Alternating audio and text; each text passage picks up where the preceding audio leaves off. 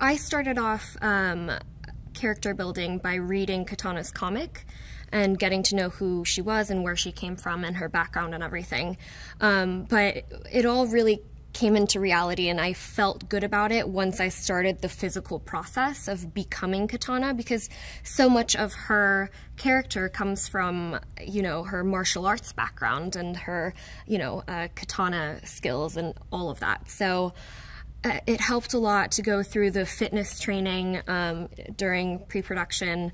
Uh, we went through one hour of uh, fitness training and then a couple hours of, for me, um, uh, sword fighting training, and then um, more with martial arts. So, um, you know, physically looking like the character helped, but also being able to do all of, all of the moves and uh, go through all of the action on my own.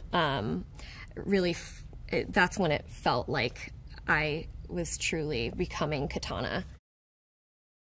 Personally, I really, really love the fact that Katana is a strong female character that um, doesn't need saving. She's the one protecting.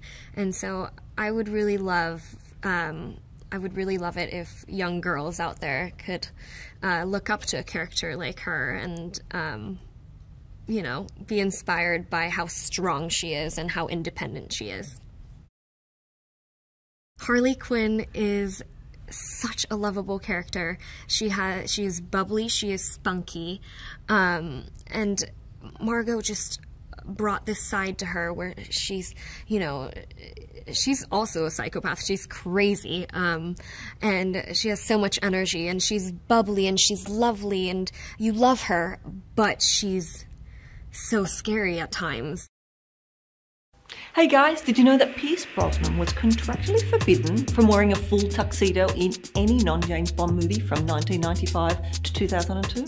For this and more movie facts, click on more videos. But if you want something else, click on the playlist.